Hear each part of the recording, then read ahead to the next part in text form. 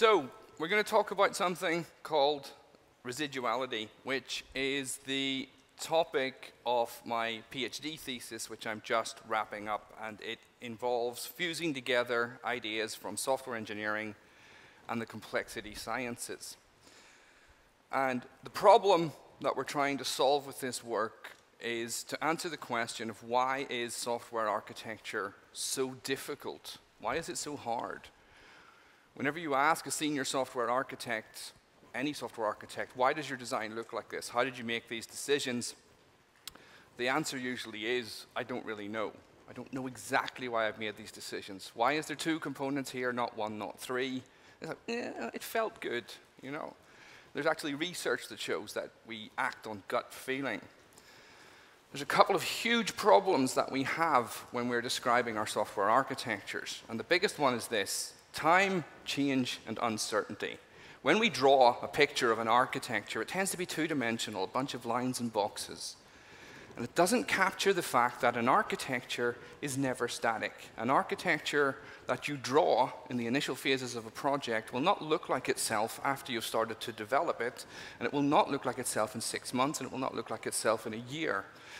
And the reason that it won't look like itself from its initial beginning is because things change constantly, and there's no way of capturing that change over time in our architecture diagrams or in the way we talk about our decision making. And the reason for that is because there's an enormous amount of uncertainty. We don't know what's going to change in our architectures, and this causes us some enormous problems. A second problem that we have in software architecture is that we still haven't properly arrived at what is the unit of software architecture. What is the base building block of what we do? If you go back to ancient Greece, they thought that the building blocks of our world were earth, fire, wind, and water. And that seems a bit silly from today's perspective, but that gave us what we needed to build on in order for the natural sciences like physics to say that, well, the, the, the, the building block that we base all of our work on is the atom, or later the Newtonian particle. Chemists have the molecule. That's the base unit of chemistry. And a biologist will work from the cell. And they build up from there. And that's a sign of a mature science. For software, we've been on a bit of a journey. And we're not quite sure who we are yet. And if you go back 60 years, you'll find that we thought about things in terms of machines. And then punch cards and procedures and modules. And then we brought in some business ideas like processes and features and some things like patterns. If you meet two software architects talking to each other, very often you'll find that they're having a very confused conversation because both of them are operating from a different perspective. They have a different base unit. And what we're going to look at today is a new unit of software engineering, and that unit is called the residue. And this is the way we will think, of, this is what we will think of as the building block for our software architecture. So it will make it easier for us to communicate with each other about what we've actually done, and also solve this huge problem of time, change, and uncertainty, because this is a unit that's able to capture those things. Before we dive into that, there's a couple of really important concepts that we need to understand, and this is fundamental to understanding our role um, as designers of software systems. So there are different kinds of systems in the world that we work with, and systems just a fancy word for a bunch of stuff connected to other stuff. And some of these systems that we work with are ordered. And by ordered, we mean that they're highly constrained, they're highly structured. Um, their future states can be predicted. And you can test an ordered system. And when you test it repeatedly, you'll mostly get the same behavior over and over and over again. And so something like a car is an ordered system. Even though it's got 30,000 different parts, it's still ordered. It's understandable, it has a schemata, and all of those things. Software is an ordered system. It's actually quite simple. That's scary. People, some people don't like it when I say that because we like to think that software is very complex. Software is highly constrained. It won't do anything you don't tell it what to do. The complexity comes from the fact that you tell it to do the wrong things. You all know that already. Some systems are disordered, and a disordered system is a completely different thing. It's very loosely constrained. Stuff is still related to other stuff, but those relations are changing, and so is the stuff. And you won't find any patterns that you can hold on to in a disordered system. And as soon as you think you have, or convince yourself that you have, those patterns will change.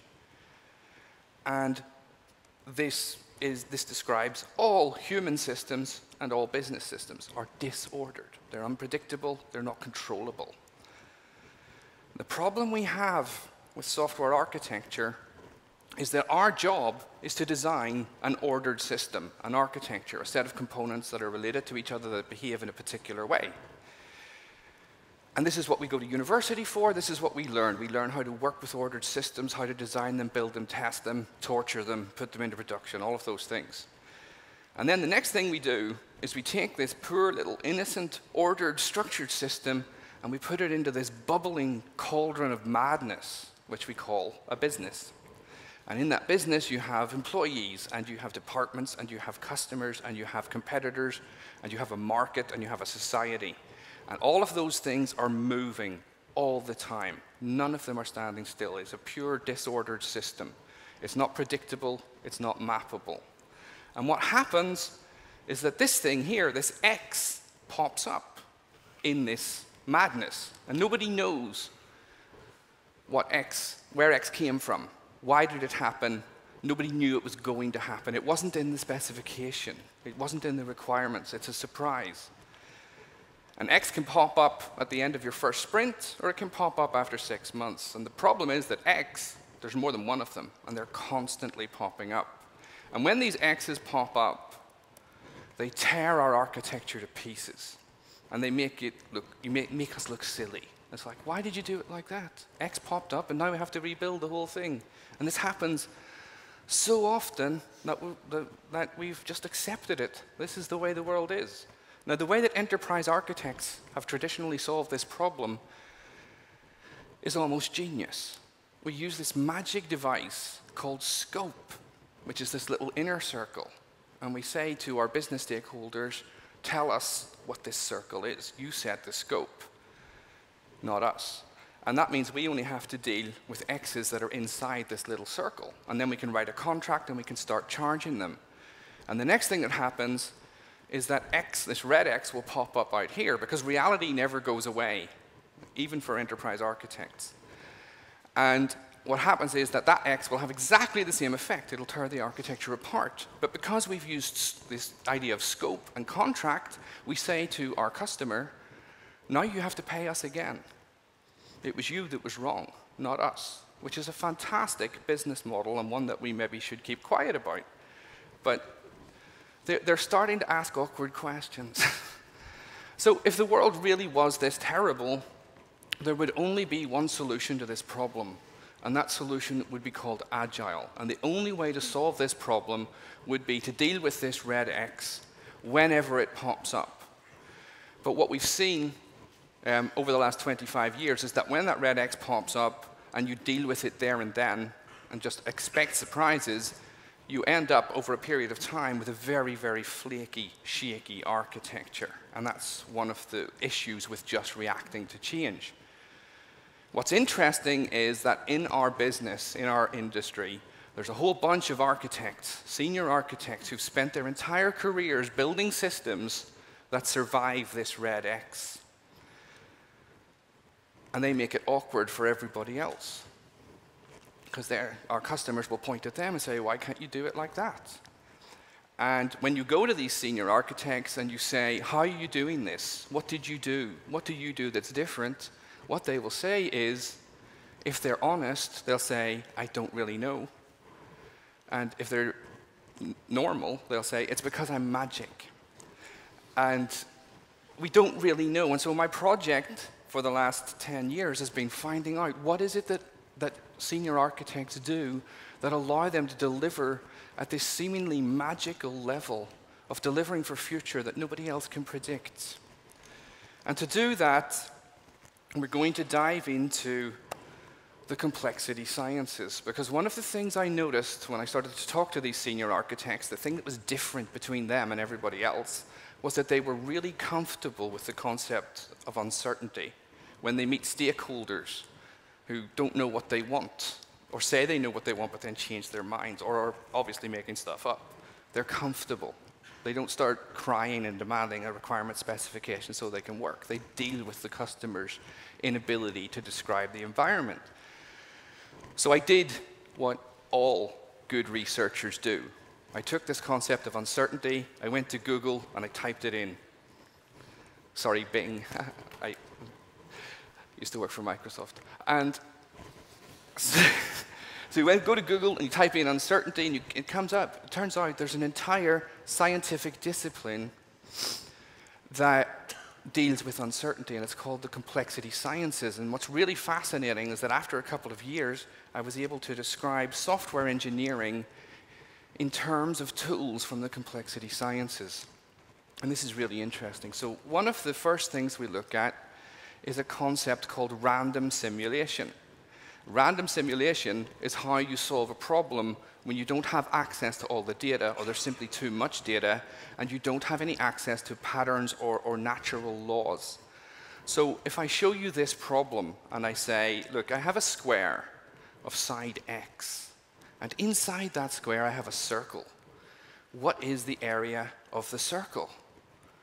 And everyone who's been indoctrinated into STEM will immediately start looking for the radius of this circle and feel a, a, a, flutter of panic when you realize you can't get there.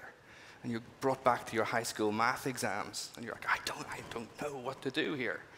And the truth is, you can't find r. So pi r squared is not a possibility here.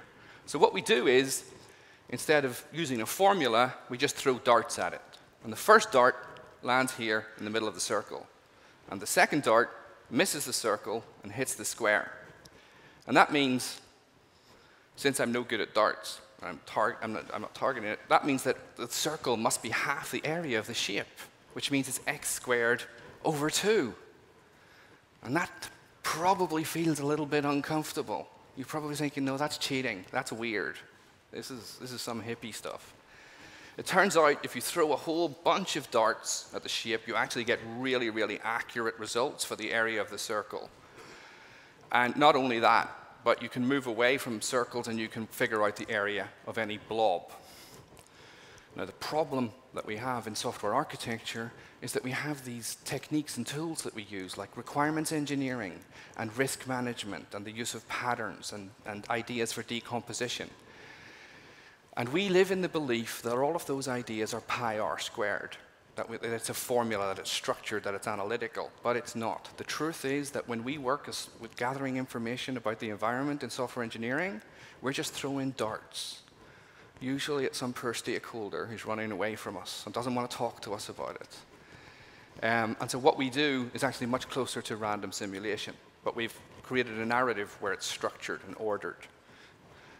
A second idea from the complexity sciences that's really interesting to us is the concept of a Kauffman network. And so Stuart Kauffman was a biologist and a complexicist who worked in the 1960s. And he wanted to figure out how did we get from an ocean of amino acids all just floating about, minding their own business. How did we get from that over the course of several billion years to the Beatles? How does that happen? And he came up with the idea of a Kauffman network, which is also known as a random binary network, which mimics the behavior of amino acids. And it's binary because every node in this network has two possible values, one or zero. And so a good way to think about this is to think about it as light bulbs. These nodes are all either on or off. And they're random because every light bulb has a tiny little bit of code inside it. And when that code runs, the light bulb is, decides, am I on or am I off? And then you get a little button here. And when you press the button, it gives an electrical signal to every light bulb. They all run this little bit of code, and they decide to be on or off, which means every time you press it, you're going to see a different pattern of light. Kauffman ran this with the number of nodes set to 100,000. 100,000 nodes. It was a computer simulation. He didn't have 100,000 light bulbs. It would have been weird. When you sit and press this little button, you will see, or there, there is a possible 2 to the power of 100,000 states for this network 2 to the power of 100,000 patterns of light.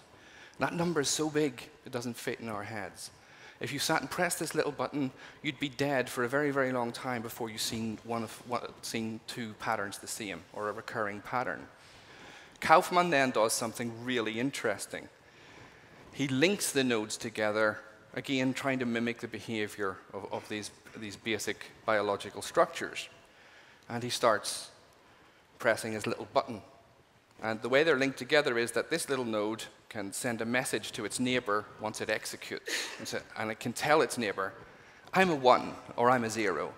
And its neighbor will take that information and recalculate its own decision.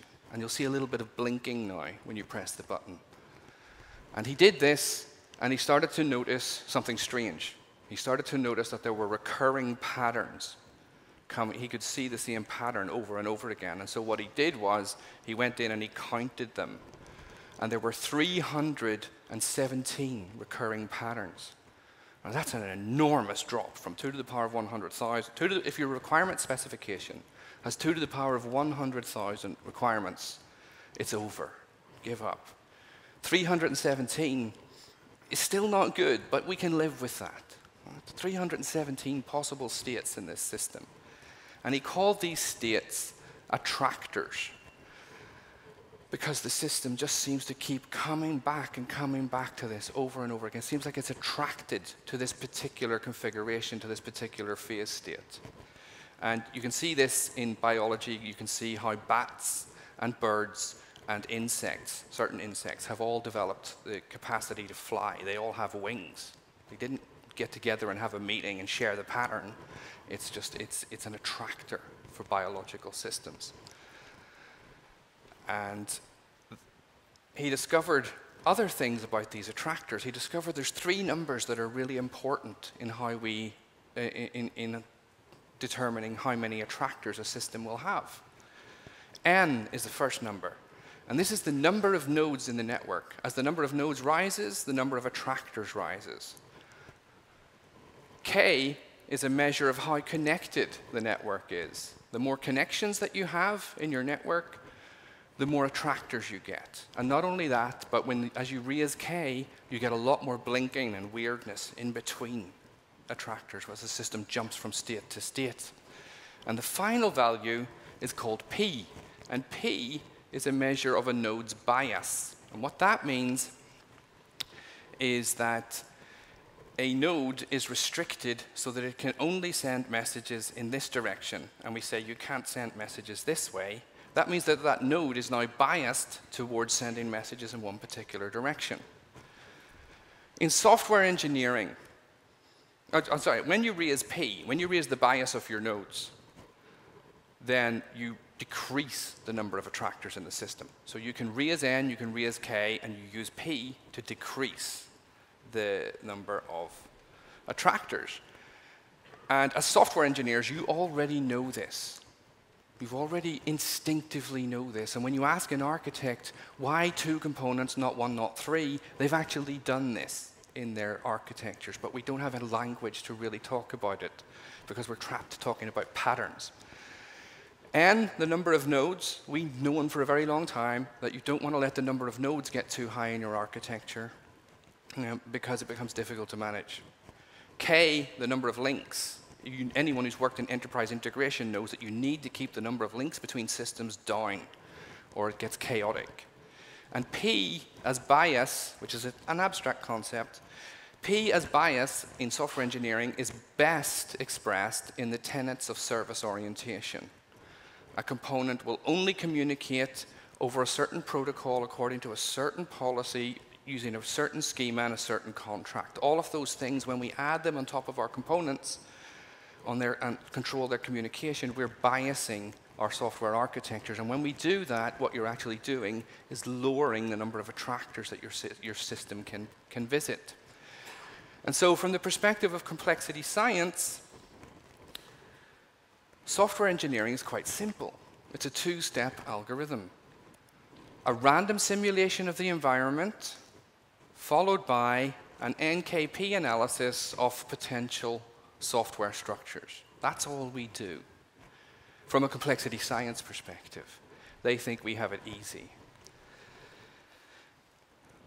That's all very interesting. But now we're going to use something called residuality theory, which is going to make the simulation more random and the NKP analysis more explicit. Because even though we do these things as, soft, as software engineers, we don't know that we're doing them. We've wrapped them up in layers and layers of process and frameworks and ideas and memes and trends over the last six decades. Residuality theory is just a little bit of a reality check for enterprise architecture to say, look, these are the things that you can actually say about the world. Everything else is speculation. And so we start out with a system. This is a business system, and inside this system, we have some software somewhere. The first thing that residuality theory says is that you cannot map this system. You cannot map it. It's too big and it's moving, it's changing, so you can't sit down and draw a diagram of it because by the time you get even a little bit into that diagram, the system won't be the same anymore. And so this is bad news for the enterprise architects in the basement, showing each other their pictures.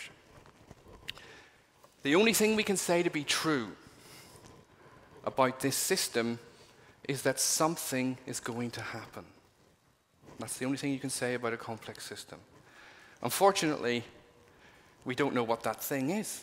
So we call it X. Something is going to happen.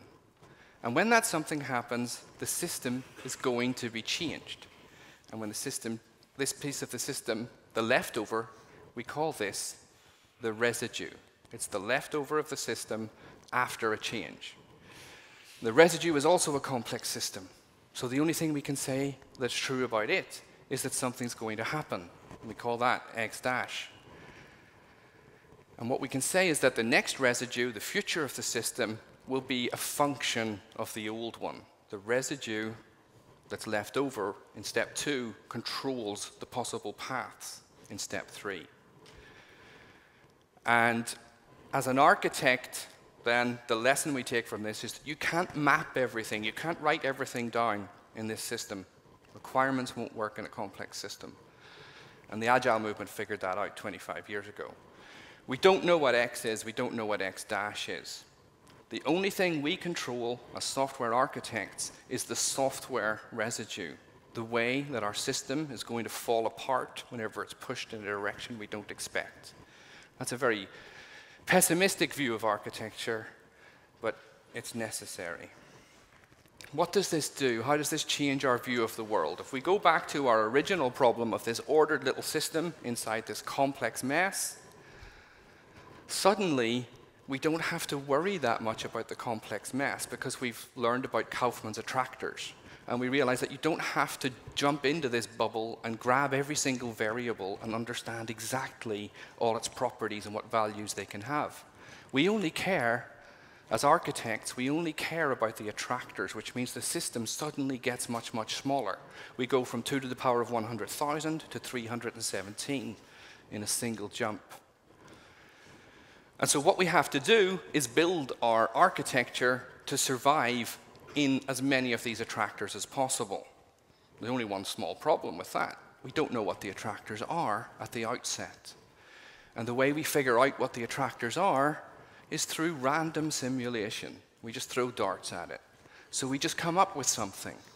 And so this first X, I can say, what happens when a competitor drops their price? When a competitor drops their price, what is the business attractor? You maybe don't know that, so you go and talk to some business people and say, what would we do if a competitor dropped their price? And what would they tell you? We'll buy the competitor, we'll leave the market, we'll change our offering, we'll change our business processes. And with that attractor, you go to your architecture and you say, would my architecture have survived in this attractor? And the answer usually is no. These two components would have been revealed to be in the wrong place, doing the wrong thing, connected in the wrong way. But we haven't built anything yet. So we can add this little green component in here and say, if we'd had this little green component, we would have survived. And we park that idea over here and we call this residue number one. And then we throw another dart and it describes another attractor, maybe something like what happens if the pound drops against the euro And we realize that we need this little orange thing to survive there, and we call that residue number two. And we do a, a third one, and eventually what we end up with is this naive architecture, which we started out with, which can be completely random. It can be anything. And a whole bunch of residues that describe the behavior of our architecture, slightly changed in lots and lots of different attractors. And these residues are the building blocks of our architecture. And what we do now is we push all of these together into a single coherent architecture, and we'll look at some tools for doing that towards the end. And then we find something weird about this kind of architecture. It starts to survive things that weren't in the specification, and it starts to do it pretty regularly. And we've reached that point of saying, I'm magic, but not really knowing why. And the reason why is incredibly simple. When I have a residue, which is just one block of this, that residue will survive in at least one attractor. But it may survive, and usually survives in many attractors. And every single attractor has many, many, many, many X's, many things that can push the business into that same state, that same attractor because the mathematical relationship between the number of things that can happen and the number of attractors that are possible is a massive, massive difference. And so if my architecture survives, so let's say I come up with this one little x, I identify this attractor, which helps me identify this residue. I now survive in all these attractors, which means I survive all of these x's in this list. Now, I don't know what they are. I don't know where they are. I've never even thought about them. No one's ever discussed them. But when, they, when one of them kicks off, my architecture is going to survive. And this is why. It's a really simple mathematical relationship. And those senior architects who've been delivering over decades of their careers and solving these problems, all they have done is accidentally stumbled upon this mathematical relationship that exists in any software architecture. And once we know it's there, it seems really obvious. And it's kind of like, oh, whoops, that's why. One of the problems, one of the things that stops teams being able to do this is something called the curse of dimensionality. In statistics, it means that it's very hard for us to generate random samples in large data sets. Because what we do is we try to be correct, and all of our teaching as programmers is all about being correct. And so we throw all our darts and we all hit the same mysterious place on the, on the board. And if you do this with your friends, everyone wants to hit roughly the same place because we don't want to be different, right? We all want to think the same. And this gives us a very skewed picture of what that circle might be. And so the way out of this is to become a little bit more playful. And what we say is one of the first X's that we use is that giant fire breathing lizards are going to come out of the Thames and destroy London. And this is the point where management starts to get a bit scared. So, and so when this happens, what is the attractor? What's, what state is our business in? Right. Well, let's say London's not working so well. There's big lizards walking about setting fire to things. Um, how do we solve this problem? And you'll say, well, maybe we'll have um, another data center um, and another set of operations, say in Birmingham. And while this might seem ridiculous, all we've done is identify this one little X here. All these other X's are going to be things like what happens if there's flooding? What happens if there's a pandemic and London isn't on fire but nobody can get there anymore? What happens if there's a train strike, which, you know, every other week, every time I come to speak here, it feels like they're checking the conference website and saying, he's coming, shut the trains down. Um, the this will uh, potential foreign invasion, social unrest, electricity, um, outages, all of these things were protected against. But we didn't have to figure out the probability of these things, which is a big waste of energy and impossible anyway. We just thought about lizards, and that's much easier to do, believe it or not. I'll give you a concrete example of how this works. So we're building a system that's going to manage a global network of fast chargers for uh, electric cars. And it's going to be a cloud-based system, and the point of it is to make sure that only our customers can use these chargers. And so when you sign up as a customer, and give us your money, we send you a little key fob. You take that key fob, and you drive up to the charger, and you hold it up against the charger, and there's a little blip. It goes up to the cloud, it looks you up and says, Yes, you've paid your monies, you can, you can charge. Very simple architecture. And what we do then is we start coming up with X's, we start stressing the system with these X's. And, one, and this is what it looks like. So every row in this spreadsheet is just a residue. And so we come up with this one, which is called a field login. And the field login is um, what's the business attractor when this little key fob doesn't work? Well, the business attractor isn't particularly good because you've got someone in an electric car stuck. They can't go anywhere, they can't charge, they've got no juice left in the battery. And what they're going to do is they're going to call the emergency number, which is actually meant for people who are getting electrocuted, or maybe someone else. They maybe won't be able to reach the phone. But this is, and this is a problem for us. So we change it, and we use something called ALPR, automatic license plate recognition. So we scan everyone's license plate as they drive into the lot, and we let everyone charge without restrictions, and we just let them drive off because it's cheaper and easier to let them drive off than it is to have them stuck and complaining and maybe build a customer contact center to solve this problem. So automatic license plate recognition changes the way we do things. The next X or stressor that we need to deal with is that people are going to drive into these things. Okay, it's inevitable. Happens a lot at petrol stations. And so what we do is we have some redundancy. Let's have a few extra chargers on our lots.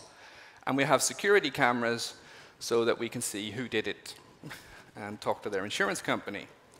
And the next one that's interesting is number 12, which turns out to be a big problem at golf courses and shopping centers. People turn up, plug in the electric car, and they go away. And only they can unlock it. And this makes customers frustrated as well. They turn up at these places, they want to charge their car, but someone's away for several hours and, and they can't charge their car. And so what we do is we use ALPR, but we invoice per minute on a sliding scale. So the longer you stay, the more you pay. Um, and so if someone parks for eight hours, then you're going to essentially what they've got is a three, four hundred dollar parking spot. And for us, that's okay. We'll happily take that money. But for most normal people, they'll come back and move their cars after the initial 25 minutes. Now, all of that is boring, normal business development. The thing that's really interesting is down here, and it's stressor number 14. Stressor number 14 is called icing. ICE stands for internal combustion engine, and it's the way that the electric car industry talks about fossil fuel driven vehicles. And icing is a phenomena that starts to occur in the United States. And what happens is, one day, some guy is standing watching someone charge their electric car. And this person thinks to themselves, that person who bought that electric car probably cares a lot about the environment. And if they care a lot about oh, this is in America, by the way, because you know that Douglas Adams said you make every story believable by adding the words in America. um, so they look at this person and say, if they care about the environment, then they probably vote Democrat. And I don't like that. And so what they do is they drive their pickup truck, park it in front of the charger, right? And they get out and they do a little TikTok where they're dancing. And, and then they show all the electric car drivers all frustrated and angry in a queue. And this is called icing. And they put it on TikTok and it spreads like wildfire. And this happens everywhere. This is where we're at as a society. And this is one of these things that isn't in the spec. It's not a requirement, it's not a risk. No one's thought about these things. But the combination of the residues for 12, 3, and 8 that we talked about means that when someone does this to us, firstly, we have their license plate. Secondly, we have redundancy, so they'll have to bring all their friends if they want to hurt us. We have security cameras for a potential police report, and they're going to pay on a sliding scale, so they're going to have to make it a very quick TikTok. What this means is that this X, this red X that we couldn't predict, we couldn't see, we didn't know was there, is just handled by the system because it's reached this, this level of, of, criticality, which we'll talk about in a minute. And this is the benefit we see of designing systems in this way. And if you thought that this was an American problem, this is Munich, where someone using exactly the same logic looked at an electric car and thought, this person is more likely to be vegetarian. So I'm going to show them. And so they stuck mincemeat into the chargers. Nowhere, anywhere, in any requirement specification ever have you written requirement 6.3.4 some clown is going to stick mincemeat in the device. this is the world we live in. This is what we've got to prepare our software systems for. This is the kind of thing that happens in a disordered system. Now, what we're actually doing here is we're taking, as architects, we're taking responsibility for something completely different than what we do as developers. As developers, we take responsibility for the correctness of a program. And it has to run correctly, and it has to be consistent, and we have to be able to rely on it. As an architect, we're working with something different now, and it's called criticality. And criticality, we go back to Kauffman and his models. Every system has a certain n number of nodes and a certain k number of connections between those nodes. And in software, can, there's two heavily debated choices. Let's have a very small n and very small k. And that's a low number of components, low number of connections. Now we call this a monolith. And let's have another kind of system, very high end, lots of components, lots of connections. We call this microservices. And the problem with our monolith is that it's so big and clumsy that if you take out one part of it, the whole system stops working because there's so few components and they're so dependent on each other.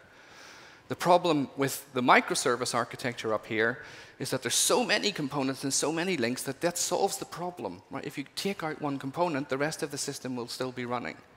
The problem is that it takes operations three weeks to figure out which component, why it happened, and nobody, everyone forgot to do the, the job with telemetry, and nobody really knows.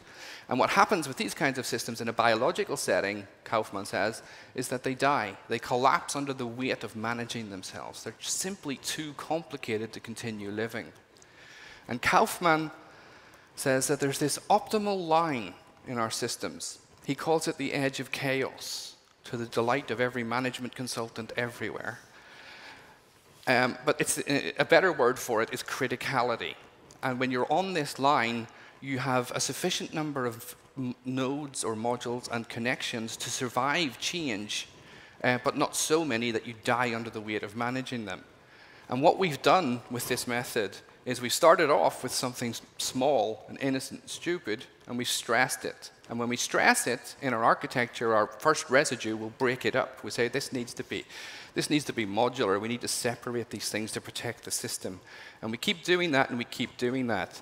And at the point where you start to survive things that you didn't know were there, you know you're somewhere on or near this green line. And you can start with a monolith or you can start with microservices, and this process will push you back towards that green line all the time.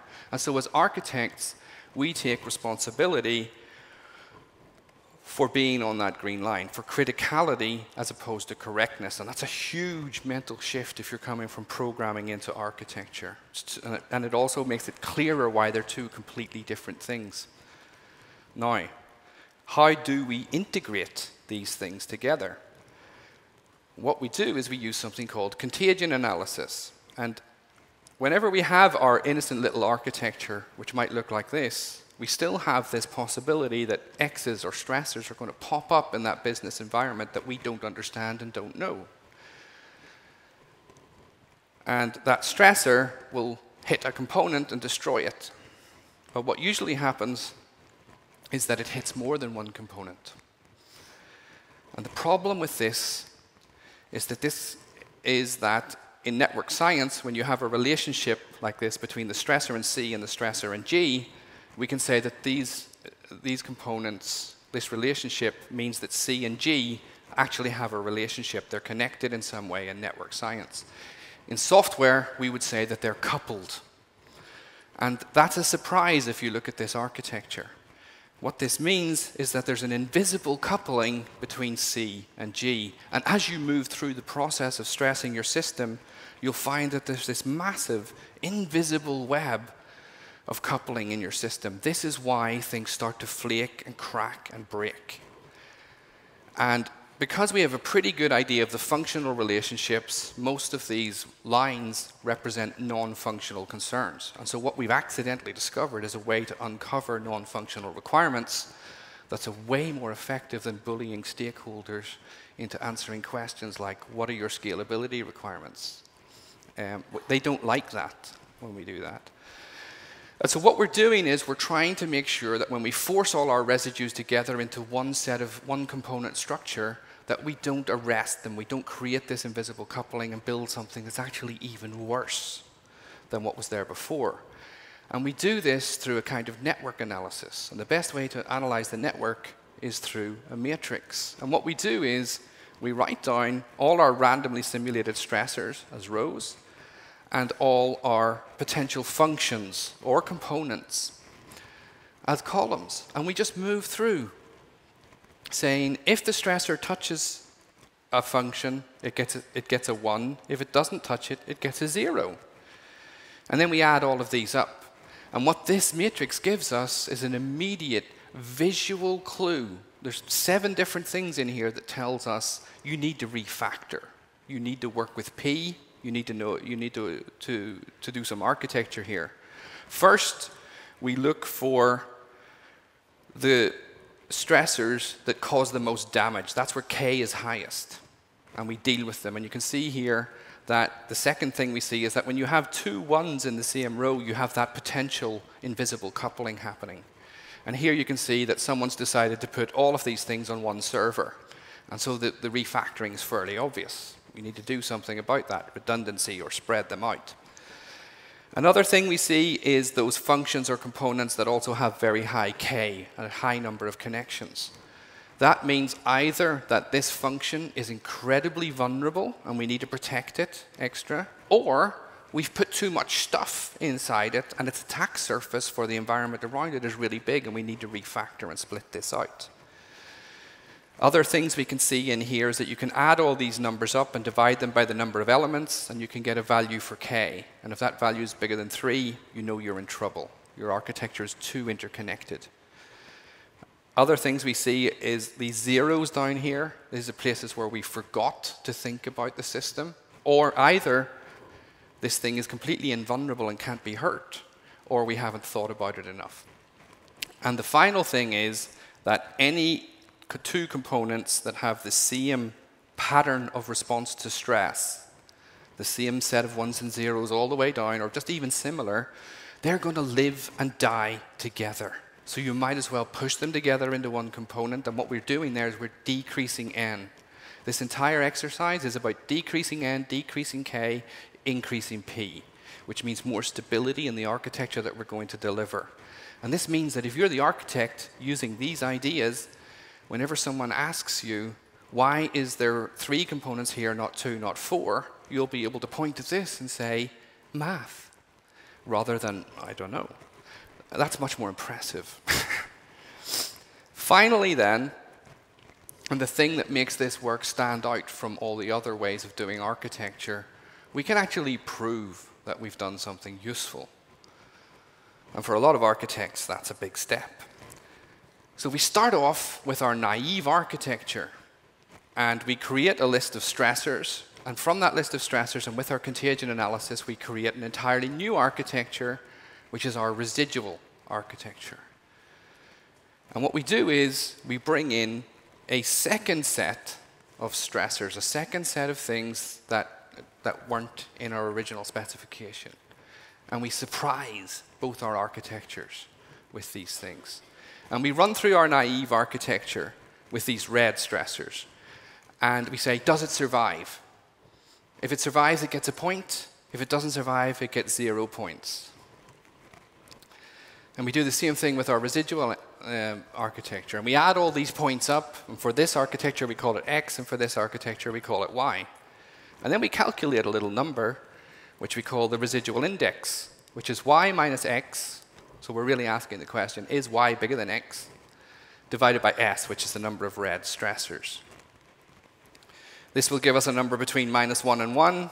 And if that number is bigger than 0, what we've done is demonstrably shown that our new architecture is better placed to survive unspecified things than the old architecture. And we've actually moved towards that green line. And we can do this in iterations.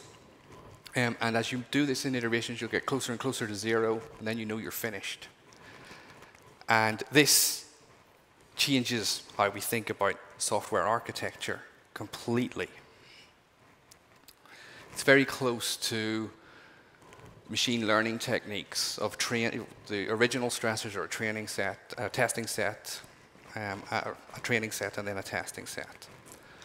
So, what this gives us is an entirely new theory of software engineering. It's a fusion of software engineering, there's a bit of philosophy in there, and complexity science. And this is concrete as well. The tools are easy. It's a spreadsheet and a matrix, which is also a spreadsheet. You can teach this to anyone. It's properly researched, so this, this isn't just some speculation. Uh, this has been put through the mill. And it's compatible with everything else. You don't have to throw anything out or stop doing anything. You can use this with anything. One of the complaints I hear is that I went to your session and I didn't really know how to implement this. These ideas are easily bigger than object orientation. You won't know how to do this after 45 minutes. This is just a, a, an introduction. If you want to learn more, there's a book that's just been released, um, which I, I, I have published over the last eight years, a whole bunch of academic articles. And what I heard from people was that they're horrible. We don't like the academic language, all the math. Oof. So the book has been written to make this stuff more accessible. Um, and you have my email and other contact details on here if you want to follow them. So thank you for coming and for listening, and enjoy the rest of your conference.